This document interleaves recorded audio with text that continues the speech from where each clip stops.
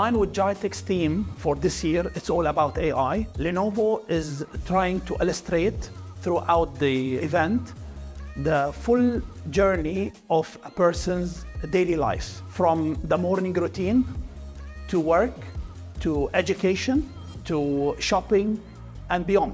Throughout this experience, we will be illustrating that AI is becoming an embedded feature within our daily life and daily experiences. It's really a very uh, important event. It's becoming a global event.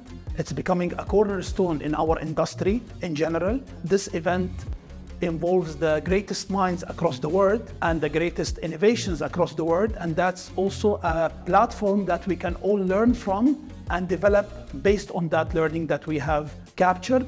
It also brings room for alliances and new partnerships and new innovative ideas how we take the solutions to what's possible.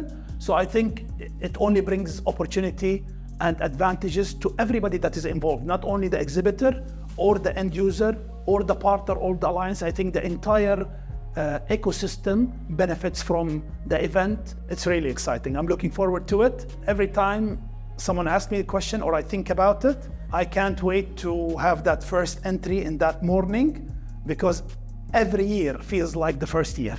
And then you feel that feeling inside you. I wouldn't say worried, but you feel that you need to do your best this year.